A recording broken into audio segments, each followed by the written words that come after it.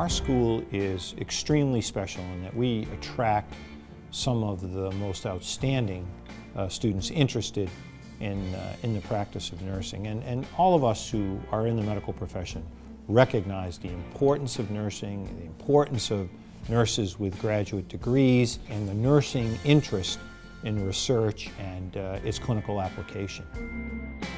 The GSN is only a graduate school of nursing. We do have a special type of student known as a graduate entry pathway student. This is a student who's interested in becoming a nurse practitioner who comes to us with an undergraduate baccalaureate degree in a different field. Other than that, all of our students are pursuing either a master's degree or a doctoral degree. The master's degrees we have here are in two tracks. One of them is education and the other one is population health. Then we have two other tracks that grant doctoral degrees. One is a PhD, which is known as the nurse researcher or nurse scientist degree. And then we have the doctorate of nursing practice, or what we like to refer to as the clinical or the nursing practice degree. Graduate of the uh, University of Massachusetts Worcester Graduate School of Nursing. I graduated 2003.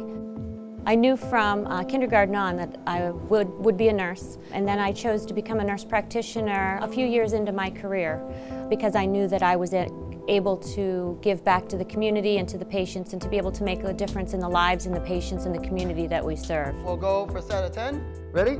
One, the idea of doing nursing, because it's a very community-oriented profession, obviously, tied in nicely with the other work I do, running local non-profit martial art program and getting to, you know, talk to the youth about health and wellness and incorporate uh, physical fitness.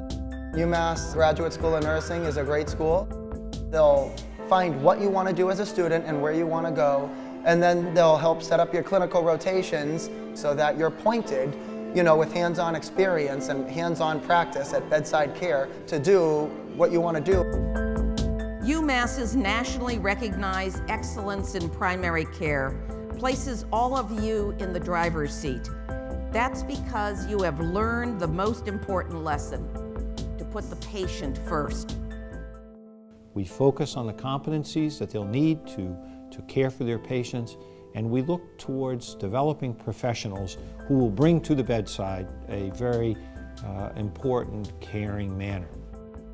It's the community of the School of Medicine, the Graduate School of Biomedical Sciences, all of us, a vision of creating a community of health, discovery, and human dignity and value people for what they bring, their backgrounds, their talents, all their experiences.